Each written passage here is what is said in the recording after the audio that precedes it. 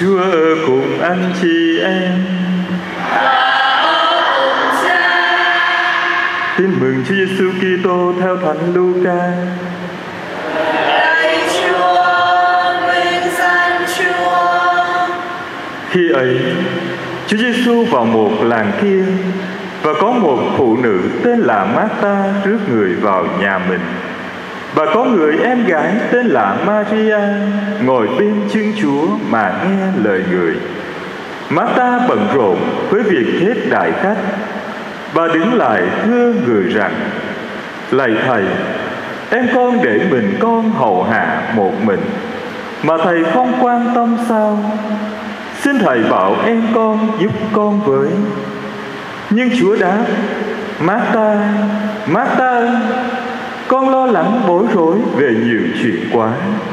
Chỉ có một chuyện cần mà thôi. Maria đã chọn phần tốt nhất và sẽ không bị ai lấy mất. Đó là lời Chúa. Lạy Chúa Kitô, lời khen Chúa. kính thưa quý ông bà anh chị em và tất cả thiếu nhi chúng con thân mến, sự thường khi nhà chúng ta có khách ghé thăm, chúng ta phải đón tiếp họ. Tiếp đón khách cũng có nhiều hình thức, tùy theo mối liên hệ giữa chúng ta với khách thế nào. Nếu là khách lạ, không quen biết, thì chúng ta sẽ đón tiếp theo phép lịch sự xã giao. Nếu là khách thân tình chúng ta sẽ đón tiếp niềm nở vui tươi nếu là khách quý chúng ta sẽ đón tiếp một cách vô cùng trang trọng Trang tin mừng hôm nay thuộc lại cuộc đón tiếp của hai chị em Marta và Maria dành cho Chúa Giêsu khi Ngài đến viếng thăm gia đình của họ. Sự niềm nở, hoan hỷ của Marta và Maria cho thấy Chúa Giêsu và các môn đệ là khách của gia đình Tuy nhiên, thái độ niềm nở của hai chị em có phần khác nhau. Marta thì bận rộn lăn xăng với công việc, còn Maria thì ngồi yên thân mật kề bên Chúa, nghe Chúa nói, tiếp chuyện với Chúa. Trong thực tế, hai thái độ đón tiếp này đều rất cần thiết. Tinh thần hiếu khách được biểu lộ cụ thể và tích cực qua việc chuẩn bị bữa ăn. Và lòng hiếu khách cũng để thực hiện qua việc lắng nghe và trò chuyện với khách. Khách đến nhà chúng ta không thể nào để khách ngồi một mình.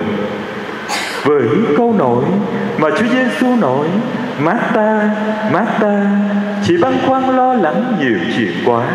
Chỉ có một chuyện cần thiết mà thôi. Maria đã chọn phần tốt nhất.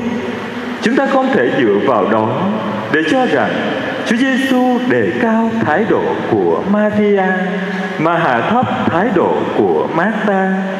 Đúng hơn, Chúa Giêsu chỉ muốn mượn hình ảnh của Maria đang ngồi dưới chân của Ngài để nghe Ngài nói chuyện, nhằm cho chúng ta hiểu rằng thái độ lắng nghe và suy niệm lời Chúa dạy rất cần thiết đối với con người và Chúa cũng mong muốn mọi người chúng ta hãy biết cân bằng trong đời sống sinh hoạt và đời sống cầu nguyện. Có cầu nguyện trước mọi công việc làm thì công việc đó sẽ được Chúa chúc phúc và chắc chắn rằng, khi chúng ta biết cân bằng trong đời sống cầu nguyện và sinh hoạt, thì mọi việc chúng ta làm sẽ trở nên tốt đẹp.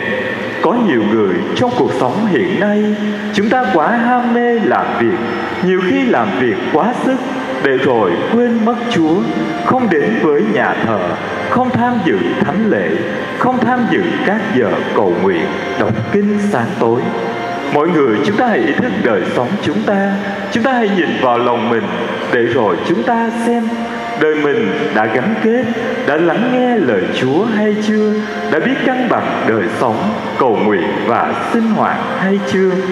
Ước gì khi tham dự thánh lễ này với lời Chúa, chúng ta hãy ý thức đời sống mình để chúng ta biết kết hiệp với Chúa, lắng nghe lời Chúa dạy, để Chúa hướng dẫn và dẫn dắt đời sống chúng ta để rồi chúng ta biết làm mọi việc trong thánh ý của Chúa. Amen.